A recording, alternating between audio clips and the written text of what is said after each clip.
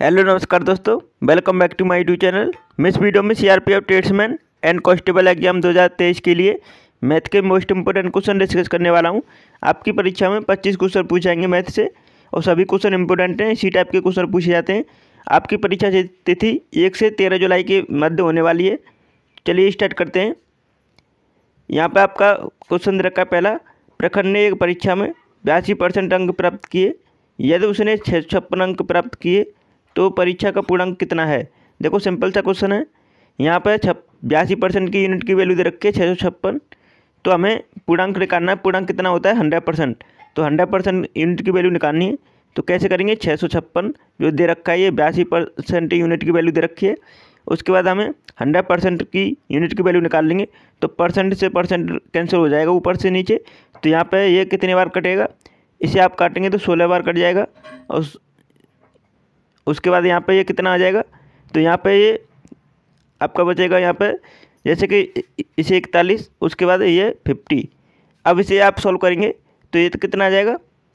इकतालीस से ये सोलह बार कटा है, उसके बाद यहाँ पे दो से काटा था तो फिफ्टी बार कटा है। उसके बाद यहाँ पे पचास मल्टीप्लाई सोलह करेंगे तो कितना आ जाएगा? तो ये आ जाएगा आपका आठ सौ। तीसरा ऑप्शन इसका करेक्ट आंसर हो जाता है। इस तरह आपको करना था सिंपल सा क्वेश्चन था। दूसरे क्वेश्चन का आंसर बताएँगे। प्रिया के लिए कार्य को पंद्रह दिन में पूरा कर सकती है। प्रिया स्नेहा मिलकर उसी कार्य को दस दिन में पूरा कर सकती हैं। स्नेहा के लिए उसी कार्य को कितने दिन में पूरा कर सकती है? सिंपल सा क्वेश्चन है। प्रिया के लिए किसी कार्य को पंद्रह दिन में कर रही है तो प्रिया पंद्रह दिन में कर रही है, ठीक है? उसके बाद प्रिया स्नेहा प्रिया प्लस स्नेहा मिलकर उसे कार्य को कर रही हैं आपका दस दिन में। इन दोनों कैल्शियम लेंगे तो कितना आएगा? थर्टी। दोनों का अलग अलग एफिशिएंसी निकालेंगे तो पंद्रह दूनी तीस और दस तिया तीस।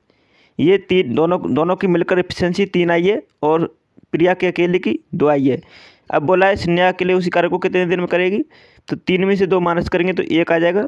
अब एक की एफिशिएंसी से करेगी कार्य स्नेहा तो तीस मतलब तीस टोटल कार्य को कितने दिन में करेगी? तो एक से डिवाइड कर देंगे तो तीस दिन में करेगी। राइट आंसर क्या होगा? थर्टी दिन। तो तीसरे ऑप्शन में करेक्ट आंसर दे रखा है। नेक्स्ट क्वेश्चन का आंसर बताएँगे, तीसरा क्वेश्चन है इंपॉर्टेंट क्वेश्चन है। निम्नलिखित में से कौन सा दो संख्याओं का महत्तम समावर्तक एस और लघुत्तम समावर्तक एलसीएम नहीं हो सकता? सिंपल सा क्वेश्चन है, कौन सा नहीं हो सकता है? तो यहाँ पे आपको पता होना चाहिए एलसीएम और एस एक दूसरे के डिविजिबल संख्याएँ होती हैं। तो यहाँ पर वो कौन सी संख्या है जो मतलब कौन सी संख्या है जो एक दूसरे के डिविजिबल नहीं है? तो देखो, यहाँ पर पंद्रह से साठ में डिवाइड दे सकते हैं डिवाइड कर सकते हैं।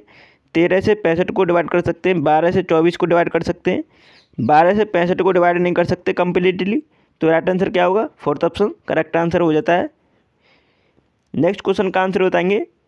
चौथा क्वेश्चन है, एक सौ सतासी, दो सौ पंद्रह, एक सौ नब्बे, दो सौ तीन और एक सौ पचानवे का औसत क्या होगा? सिंपल सा क्वेश्चन है। इन सभी संख्याओं को जोड़ेंगे आप, और आप जितनी संख्या है उतने से भाग दे देंगे। तो जोड़ते हैं, एक सौ सतासी प्लस दो सौ पंद्रह, प्लस एक सौ नब्बे, प्लस दो सौ तीन और प्लस उसके बाद एक सौ पचानवे। कितनी संख्या है पाँच। तो पाँच से डिवाइड कर देंगे। तो आप इसे डिवाइड कीजिएगा, कितना आ जाएगा?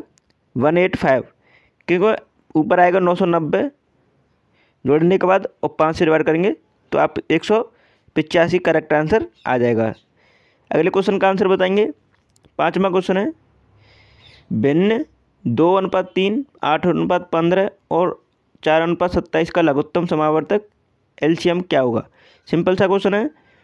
दो बट्टे तीन, उसके बाद आपका आठ बट्टे पंद्रह, उसके बाद चार बट्टे सत्ताईस दे रखा है।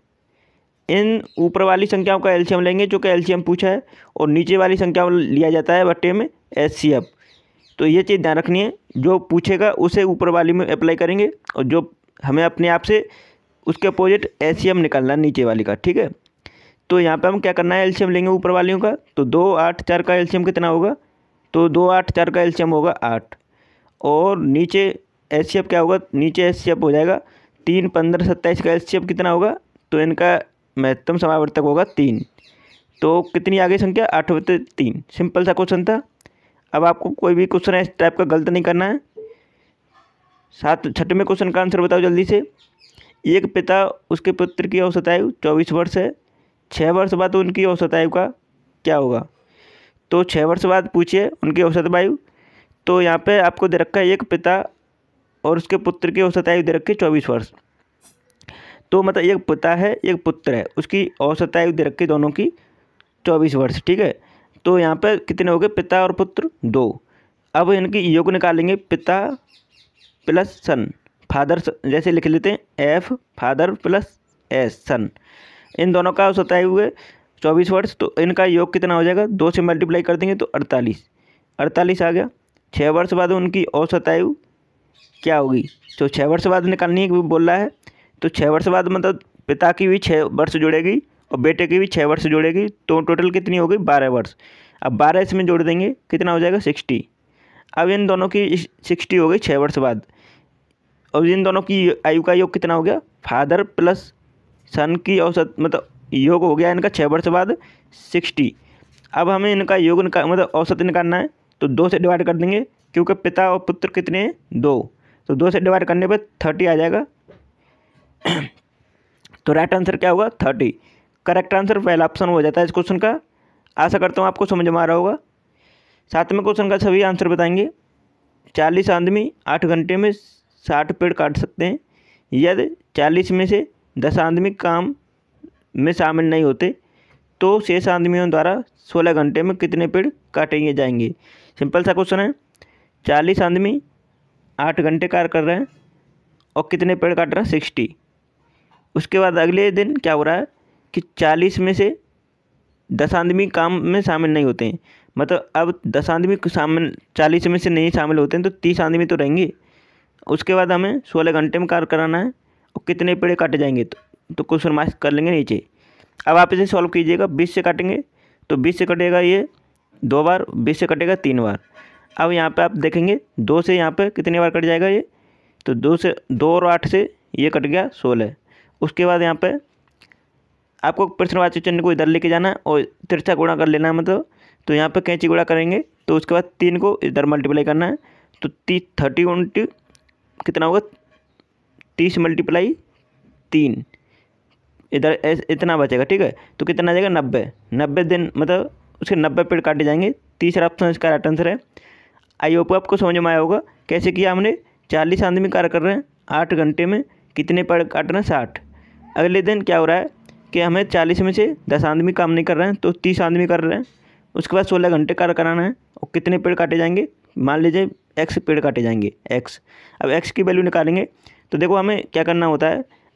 तो यहाँ पे हम पहले तो इसे सॉल्व करेंगे आगे। तो बीस से काटेंगे तीन बार और बीस से काटेंगे दो बार। और दो गुणा आठ मल्टीप्लाई सोलह हो गया, सोलह से इधर कट जाएगा। तो बचा कितना इधर? इसे कैची गुणा को तीन को इधर लेके जाना है तो थर्टी इंटू तीन तो नब्बे हो जाएगा एक्स को इधर ले जाना है। तो एक्स इजक्वल टू कितना आ गया? नब्बे दिन। मैं सॉरी नब्बे पेड़ आ गया। नब्बे पेड़ काटे जाएँगे। तीसरा ऑप्शन करेक्ट आंसर हो जाएगा। तो आई होप आपको वीडियो पसंद आई होगी। अगर आपने अभी तक हमारे चैनल सब्सक्राइब नहीं किया तो कर लीजिएगा और प्लीज़ वीडियो को लाइक कर दीजिएगा। आपने हमारी सभी वीडियो नहीं देखी हैं तो एग्ज़ाम से पहले ज़रूर देख के जाइएगा। सभी इंपॉर्टेंट है। इसी टाइप के क्वेश्चन पूछे जाते हैं आपकी परीक्षा में। और मैं आपको बता दूँ, आपके लिए मैंने मतलब चारों सब्जेक्ट को कवर कराया है, जो कि पच्चीस पच्चीस क्वेश्चन आपसे, चारों सब्जेक्ट से पूछे जाएँगे। हिंदी मैथ रीजनिंग जी के जी एस इसका लिंक आपको इसी वीडियो को डिस्क्रिप्शन में प्रोवाइड कर दिया है। एक बार सभी प्ले लिस्ट को देखें। लगभग मैंने दो सौ प्लस वीडियो आपको C R P F exam के लिए स्पेशल प्रोवाइड किए हैं। तो आप देख लीजिएगा उन्हें। और मात्र आठ से नौ मिनट की वीडियो में आपको वह अच्छे से कंटेंट मिलने वाला है, जो आप कम समय में देख सकते हैं। तो चलिए वीडियो को यहीं समाप्त करते हैं। Thanks for watching my video